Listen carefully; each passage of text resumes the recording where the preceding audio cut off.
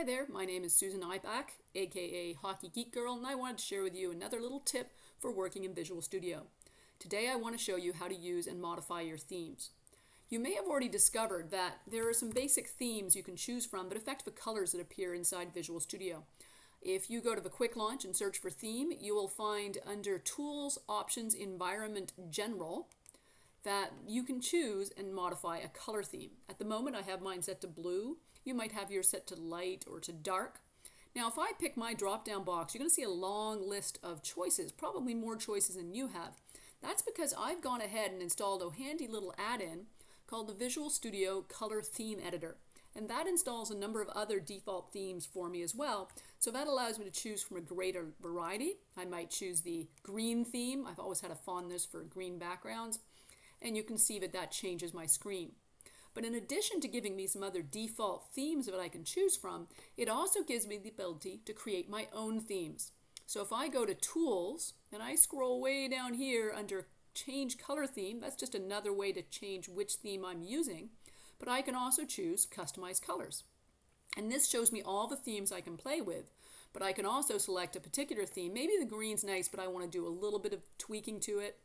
So I select the green theme and I say, let's make a copy of that theme and maybe make some changes to it. So this is going to be Sue's green. And I'm going to go ahead here and edit that theme. And what will happen is I get a screen here that allows me to modify all the different choices for the tabs, for the command bar. So I could change the background of the tabs. Uh, maybe I make decide to make those yellow. And you get a little preview of how they're going to appear after you've made a choice. Well, apparently I didn't quite catch that one there. There we go. Um, so you can make some changes to how they appear when they're hovered over. Um, maybe I want to change the way the menu appears to be a light orange color.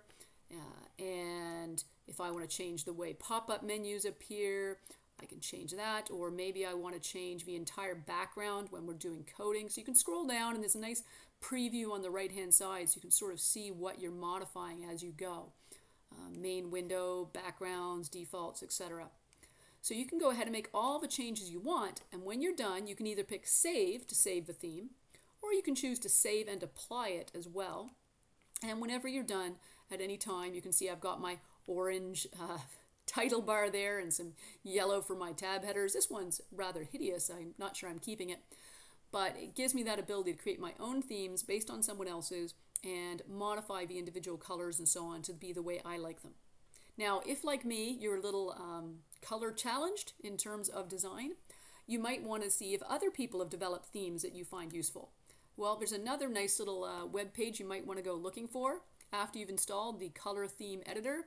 Go and search for Studio Styles at Studio S T Y L period E S.